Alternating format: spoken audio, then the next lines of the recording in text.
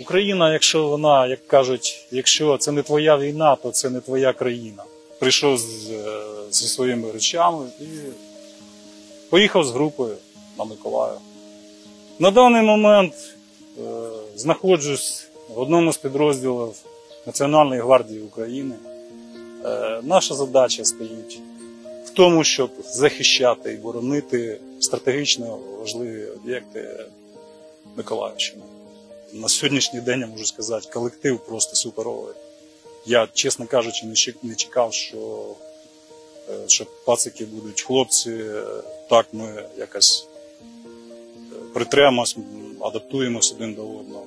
Є РСЗО, є і арта інколи. Можуть бути там ДРГ. Дуже болісно, коли ти у військовій формі і, як кажуть, відчуваєш, що по цивільному, по цивільній структурі, по гражданському населенню херачать з неймовірної сили навіть більше, чим, чим скажімо, по нашим позиціям це дуже боляче. Вони не в формі, вони не зі зброєю. І бляха просто лупити, як через твою голову перелітає все це і летить до цивільних людей. Дивлячись на ці події, які ну, на все це, що люди бачать, що твориться, що, що, що зробили окупанти з населенням. Я думаю, що я не думаю, я просто впевнений, що оборона наша завдяки цьому ще більше, скажімо, укріпилася. Ви знаєте, на цей момент я можу сказати, що так як, як зараз е, весь, весь південь України, Миколаївщина, ну і інші міста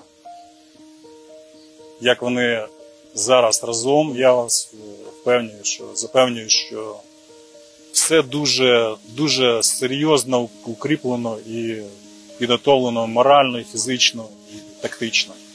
До останнього, до останнього, поки, от, поки остання сволота кацапська не буде вигнана, тобто розслаблятись не можна. І це я кажу особисто за, за Україну, за Миколаївську область розумієш, що всі скучають, всі хочуть як за рідними своїми, якось може там вирватися чи ще щось. Ну зрозумійте, хлопці, що давайте якось себе, як то кажуть, трошки згрупіруємось і візьмемо себе в руки і дотерпимо вже, як кажуть, до перемоги.